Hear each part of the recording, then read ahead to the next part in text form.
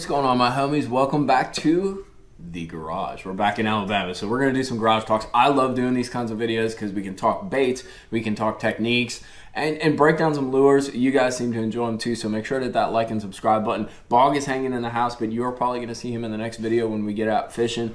Not that one? Maybe this one? That's the one. That's the one.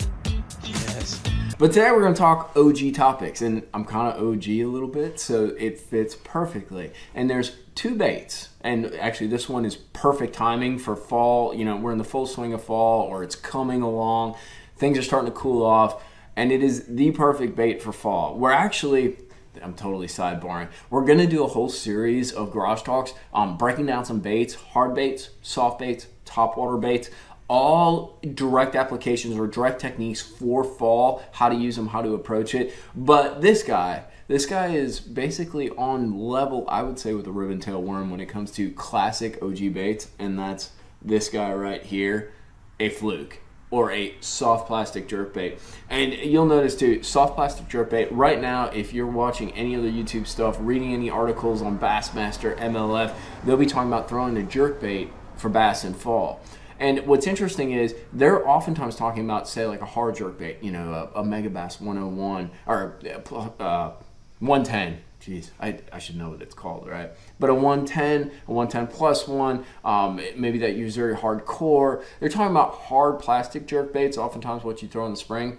This guy does not get enough love because maybe it's so simple and so old school. So what we're gonna do in this video, I have all kinds of tips with these because I've caught a million fish with these. This is really a classic Florida bait as well. But there's a bunch of different ways that I rig this thing up and just some some basic things to do with this in order that it fishes better and it fishes in the water column that you want to target. So let's get right into it. The first thing that, that I'm going to tell you right off the bat, and you guys know I'm not a big like colors of baits guys, and with a fluke, you don't have to be a colors of baits guys. So this is, I think this is ghost, yeah, this is ghost shad. But pretty much, I'd say 90% of the time, and especially in fall, in fall it's probably 100% of the time, I'm throwing something that's like smoky, clear like this, or, you know, kind of like maybe whitish. That's a zoom. Um, that's a baby fluke. It's the glow blue. But basically something that's like whitish, lightish, bait mimicking. There is, let's see, two exceptions, and, and neither of them have to do with fall. When I'll go to, say, like a green pumpkin, June bug, or a darker style um, jerk, soft plastic jerk bait, and that's one if I'm fishing in Florida, um, the, the fish tend to focus a lot more on brim, so that June bug, that watermelon red, things along those lines um, really tend to sort of mimic those brim in Florida and work better from a fluke standpoint. And then the other thing is during spring, um, we're fishing around fish that are either moving up or they're on beds. So I want something that looks like a bed invader. Yes, a shad or something like that will invade the bed, but more often than not, it's going to be a brim, shell cracker, some kind of panfish that's getting up in there and like perturbing that fish. So that's when I'll go with a darker bait. Also, usually the watercolor is a little bit darker in spring, so I like those darker baits as creating more of a silhouette instead of being super bright. But that's the colors thing. It's pretty easy though. Literally, like, go to Tackle Warehouse, go to Walmart, get a like a white or an albino fluke, and you will be just fine.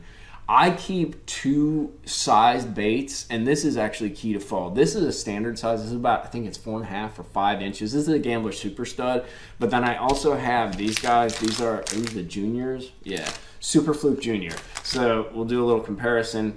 You can see that's the Super Fluke Junior versus the the Gambler Super Stud. It's about like three inches. It's a little smaller. I've actually drop shotted these as well. But the reason I keep these on hand is I'm now fishing for spotted bass as well as smallmouth. And one of the biggest challenges in fall is the bait gets really tiny, especially if you're dealing with shad. Um, oftentimes these things are keyed in on on like fingerling size. They're like the size of your pinky, if not smaller. So having a smaller presentation is key. And that's what's really cool about a, a fluke too, because in fall they're they're schooling. They're usually up in the water column. The bait rises as that water cools, and a fluke is great at targeting the first.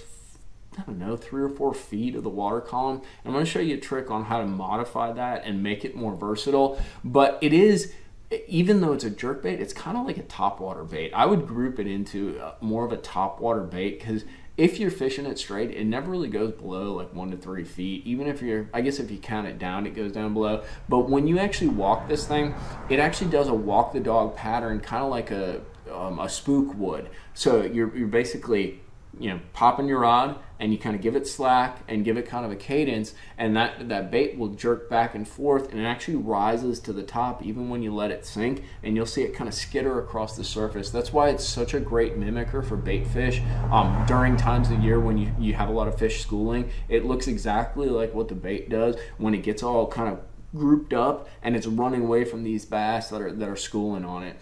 So rigging wise i'm going to show you well first of all i'm going to tell you kind of the, the main way i rig it and especially if you're fishing it in shallow water i mean like one to two feet um, i will throw it on a standard um, spinning rod uh, something like this this is my 610 KS2 Elite. This is a medium action rod. You can go up to a medium heavy depending on the size of the fish that you're dealing with, uh, but you don't want anything too heavy. This is a 610 Ideally, you want it maybe a little bit longer, especially if you're fishing in open water, maybe a seven foot, seven one, seven two, because that longer rod will give you a little bit longer cast.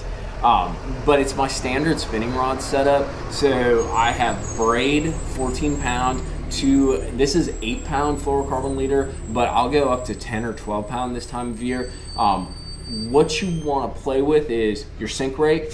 Um, that wider line will actually cause that thing to sink slower. The other thing too is if you're dealing with bigger fish, oftentimes when they're schooling or you're you're really jerking this thing, that lighter line you, you can snap it on the hook set because they'll come up and crush it or they'll grab that bait and they'll dart away so fast. It puts a lot of tension and a lot of pressure on your line. So going up to maybe 10 or 12 pound test 12 pound at the max unless you're fishing in florida and there's there's megas. I used to put 15 pound mono on there. Um, but i would recommend fluorocarbon instead of mono and there's one reason for that. With a fluke or with a with a jerk bait i want everything to sort of help me keep that bait down because I can get that bait to the top super quick just with some rod twitches and um, movement on the rod and basically just fishing it will bring it to the top. But anything that I do rigging wise or with my the way I present this guy, I want it to, to keep that bait down and kind of cause it to sink a little. Slowly, mind you, very slowly, because this is kind of a subtle presentation,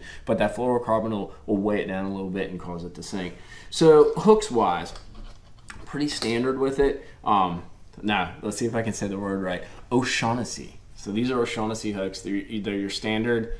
They're not extra wide gap. They're just wide gap hooks. Um, this is a 4-aught. Um, I forget what it's called, but it's the owner wide gap. This is what I'll use on the standard flukes across the board. The reason I don't go with an extra wide gap is I like sort of the. I got one rigged up right here so you can kind of see. Do you see how streamlined that thing is?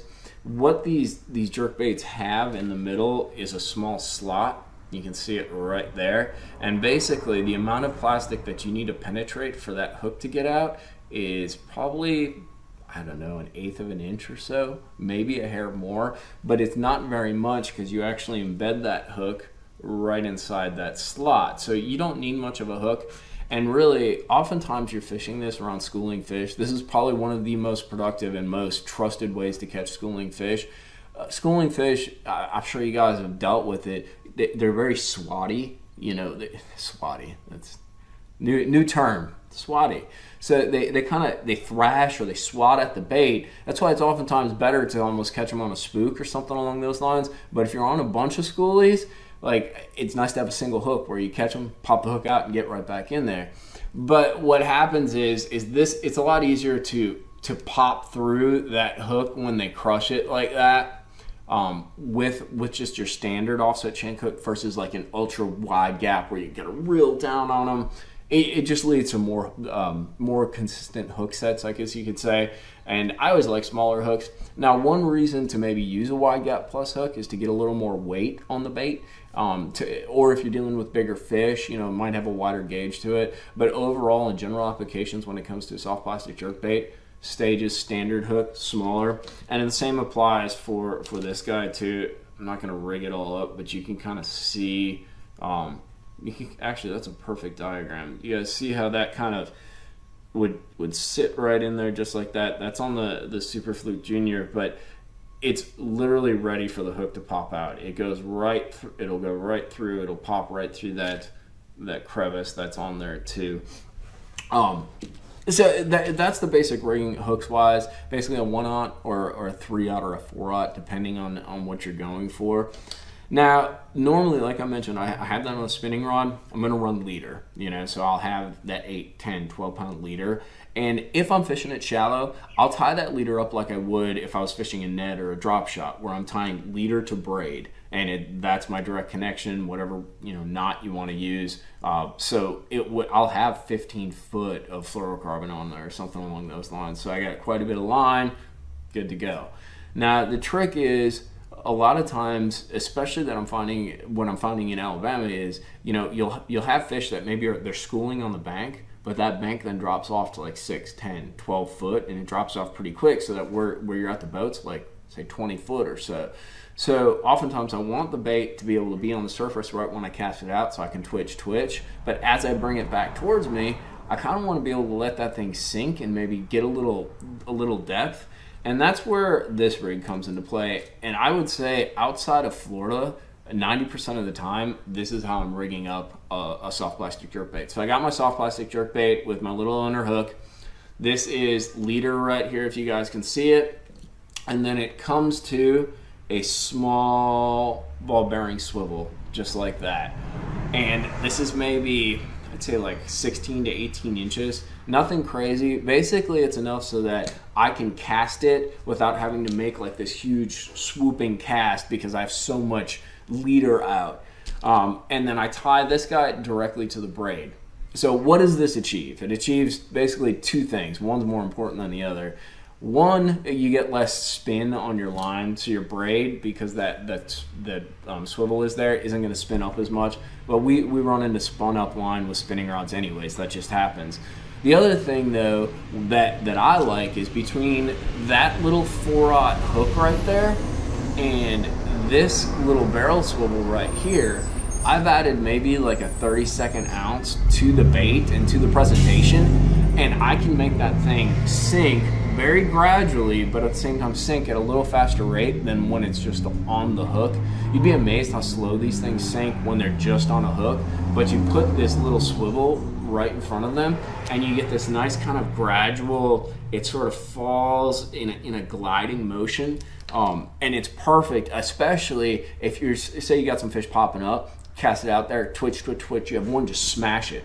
So usually I do one of two things. One, I'll go twitch, twitch, twitch really fast, try to get them to kind of reignite and re-trigger. Or two, I'll let that joker just sit there. So they hit it, they missed it, dead stick it.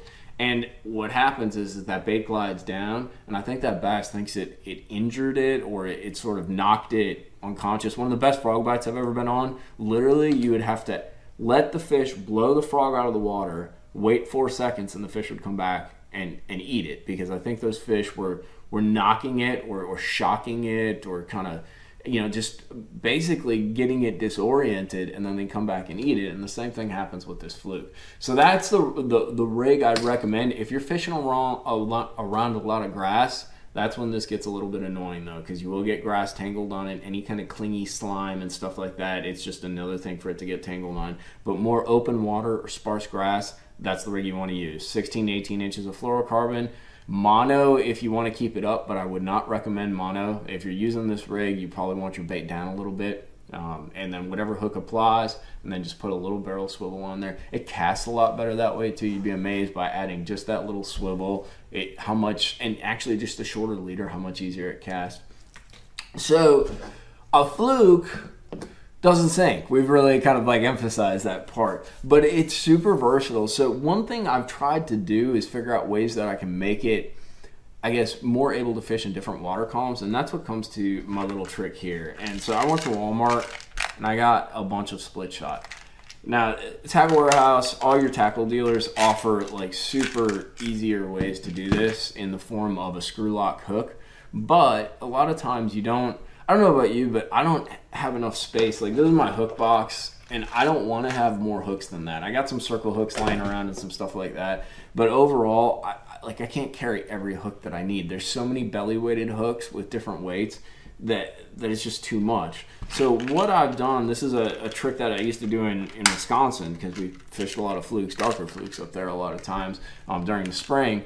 But you have split shot. The best way to do this is to take some shrink wrap, or not shrink wrap, but um, shrink tubing, and put it right around the hook right there. But more often than not, you're just gonna be on the water. You're not gonna be able to do that. But all we're doing is belly weighting the, the hook on the fluke.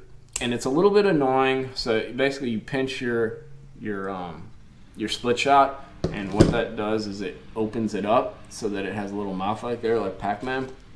And once you have your fluke rigged up, you put it on the hook.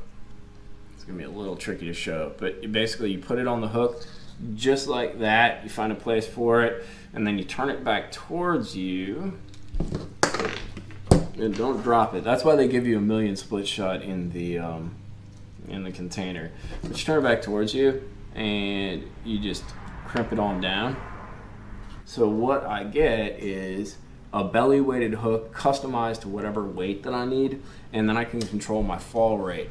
Uh, the reason that it's a little better when you put um, the uh, the shrink wrap on there or the shrink tubing is that after a while, if you do this and you make say 40 casts or so, this thing slamming into the water in that, that split shot's gonna pop off and it's just gonna randomly come off. When you put that shrink tubing on there, it's sort of like a rubber base. It's almost like um, it almost provides a more stable it's like when you sand something before you prime it it's a more stable base for it to grip onto. So when you put that little rubber shrink tubing on there it, it just grabs onto it better because you see it kind of slides a little. Um, but if you're on the water and you're looking to kind of test out, or if you have fish that are sort of maybe you see them on your active target, or you see the balls of bait, and every once in a while they'll come up, but you're really convinced those fish are under that bait. Um, it's a great way to control your fall rate on on a stick bait or on a jerk bait, a soft plastic jerk bait like this, and to do it in the fly. And literally, you can go to Walmart or I'm sure they have them on Tackle Warehouse, but I just went and got this at Walmart. It was like five bucks, and then you get all the different sizes and all that, so I can crimp whatever I want. But a fluke is an OG bait and there's a reason for it because it catches fish, and especially in fall, I think it gets overlooked. We all want to throw spooks, which we're going to talk about because I love throwing a spook this time of year. But like, you want to throw top water, you want to throw your chatterbaits and that. But these fish get weird sometimes. Um, they get keyed in on small bait. It's a great way to downsize and they, they just get hard to catch. Um, there's a lot of heat of the moment situations where they're schooling on that bait and getting a bait in there accurately and, and having it be something that they'll eat. Oftentimes, they won't look at that hard bait unless they're in the, just the right kind of mood. But this guy, they'll always give it a look. Um, and adjusting the way it falls can be a real key player into uh, tapping into some more fish. So I hope you guys enjoyed this. If you got any questions or anything to add to the video, as usual, I invite any kind of discourse or anything that you bring to the table because you guys have taught me a bunch. I hope I've done the same for you too. But sharing our experiences and learning more about fishing helps us catch more fish and helps us have a good time because we love being out on the water. Tight lines for now, though. Hit that like and subscribe button. I'm going to give Bog a pat for you. We will see you back, hopefully out on the water, hanging out with Bog, catching some fish.